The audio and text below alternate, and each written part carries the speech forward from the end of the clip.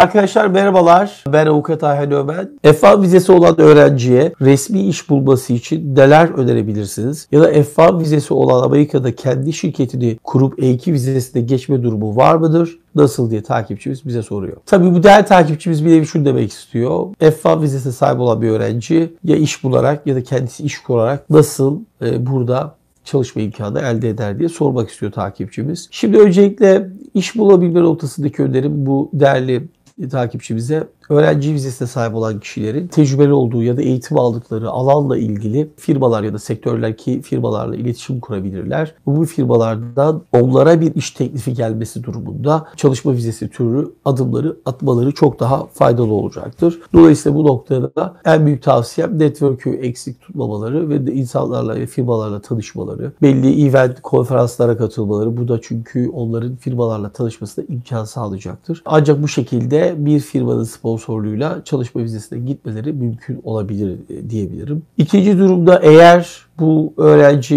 e, vizesine sahip olan kişi ya da kişiler e, girişimci olarak hareket etmek istiyorsalar bu noktada girişim adımını atıp belli bir yatırım yapabilme durumları varsa tabii ki onlara hem yapacakları yatırım üzerinden ya da ticaret yapacaksalar o iki ülke arasındaki Türkiye ile Amerika arasında ticaret adımlarını atmak istiyorsalar o tip adımların üzerinden ev vizelerine gitmeleri de kesinlikle mümkün olur. Tavsiyem öncelikle yatırım yapacaklar, ticaret mi yapacaklar bunu belirlemeleri ve bunları yaptıklarında da ne kadar bir bütçeyle ya da ne tür ürünlerle nasıl yapacaklarını planlamasını baştan doğru yaparsalar çok mantıklı bir şekilde bu şekilde hem burada iş yapma, ticarete adım atma hem de vize durumunu çözme durumuyla karşı karşıya kalabilirler. Ama önemli olan nokta var olan F1 vizesini kesinlikle ilan etmemeleri deyip takipçimizin sorusunu cevaplamış olalım.